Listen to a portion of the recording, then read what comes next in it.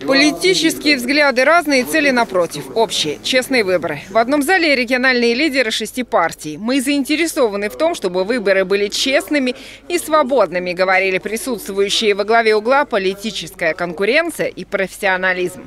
Мы хотим, чтобы победили самые достойные и самые достойные программы, которые они будут предъявлять своим избирателям. Ну, обид у нас никаких нету. Опыта мы набрались ценного, будет лучше в следующий раз. Мы выступаем, что за э, политическую конкуренцию. Э, тот лозунг политической борьбы, который у нас вот до сегодняшнего вот времени часто использовался, мы считаем, он вреден и дестабилизирует ситуацию. Э, на сегодняшний день, в общем-то, мы увидим позывы власти президента во всех его речах и словах, что, ребята, давайте, предлагайте, предлагайте новые методы, новые Э, какие-то э, предложения, которые э, позволили бы внести там какие-то изменения. Мы говорили, что к великому сожалению, Видимо, у тех партий, которые сегодня занимаются всеми этими грязными технологиями, за спиной-то, наверное, нет дел, которые сегодня жители города Орла, Орловской области видят. Это и детские сады, это и школы, это капитальный ремонт внутридворовых территорий, строительство бассейнов, строительство ледовых дворцов, масса-масса позитивных вещей. И мы видим, что сегодня город Орел действительно преображается. Еще в августе представители четырех партий подписали своего рода договор за честные выборы. Инициатива создания и подписания соглашения принадлежала Родине. Среди главных целей – объединение конструктивных сил вне зависимости от политических взглядов и пристрастий. Уважительное отношение ко всем участникам избирательного процесса. Не менее важно – выборы должны проводиться без провокаций и грязных методов борьбы за голоса избирателей. Я понимаю, у нас у каждого политические разные взгляды, мы политические оппоненты, но еще раз повторяю, конструктив должен быть во всем, в том числе и в политической борьбе.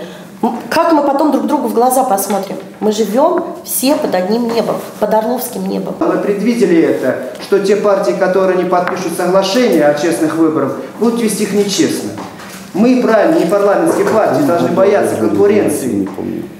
Но мне очень понравился, сказал Зайцев от партии «Яблоко», что э, чем больше партий, тем больше интереснее будет игра, интереснее будет борьба. Я еще раз обращаюсь ко всем и к жителям, и смотреть обязательно списки партий, смотреть плакаты, те политические силы, которые сегодня выдвигают судимых, фактически криминал во власть. Посмотрите списки, уважаемые избиратели. Это тоже очень серьезно. И, на мой взгляд, криминалу не место в органах исполнительной власти и представительного органа местного самоуправления города Орла. Сегодня, посмотрите, многие самовыдвиженцы идут и фактически покупают, уже есть в избирательных комиссиях жалобы, покупают избирателей. 500, там 300, 1000 рублей. Но это нарушение закона, прямое нарушение закона. Подписи представителей ЛДПР в меморандуме хоть и не было, но принципы партии разделяет. Мы заинтересованы в проведении чистых и прозрачных выборов, подчеркнул Андрей Куцин. Выборная кампания должна проводиться честно, в рамках закона, без поливания грязью, бросания грязными тряпками, грязным бельем. Это ни в какие рамки не лезет. Напомним, выборы депутатов Горсовета пятого созыва состоятся 13 сентября. Досрочное голосование проводится участковыми избиркомами уже со 2 сентября.